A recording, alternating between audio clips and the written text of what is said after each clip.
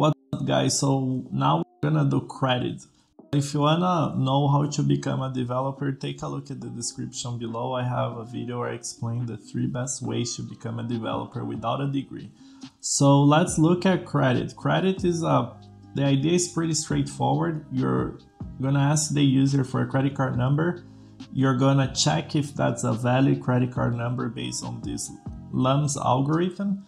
And then if it's valid, you're gonna say if it's a MasterCard, if it's American Express.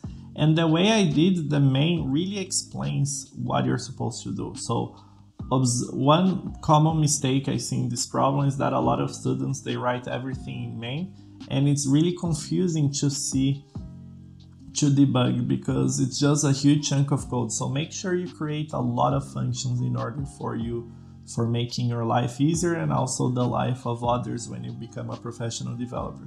So main explains everything. So you'll be able to get a credit card number, get the number of digits, store that in a variable called num of digits, check if the credit card is valid.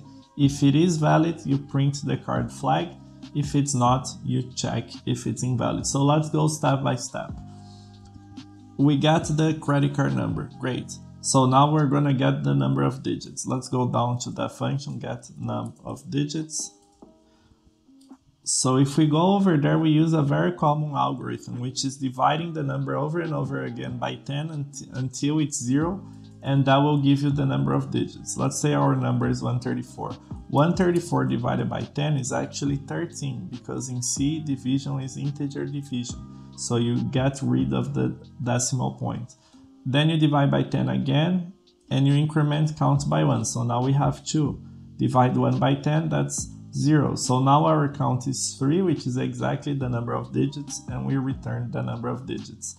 So if we look here, we now have the number of digits, and now we're going to use the card number to check if the card is valid.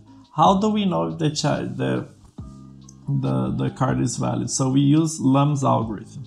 So the way the Luhn's algorithm works is that we're gonna add, we're gonna multiply every alternating digits by two. So if you observe here, one times two, zero times two, so on and so forth. That will give us this. But if it has more than, if the, the product, one of the products has more than two digits, they also want you to break it down. So 12 becomes one plus two, and then you add it all together. So that's what the function isCardValid will do. So is card valid? actually we break it down even further. So that's very common. You have functions within functions. We get the number of digits, okay? And uh, I don't even know where we get the number of digits here. Let me see if we use somewhere else. It wasn't even necessary to get the number of digits here. All we need to do is sum every other digit. So that will multiply that by 2. So let me remove this because we don't even use num of digits, so we use it somewhere. We don't use it anywhere. Okay, so we sum every other digit. Um, and what we do is we're gonna uh, we're gonna call this function sum every other digit. So let's go there. So that will basically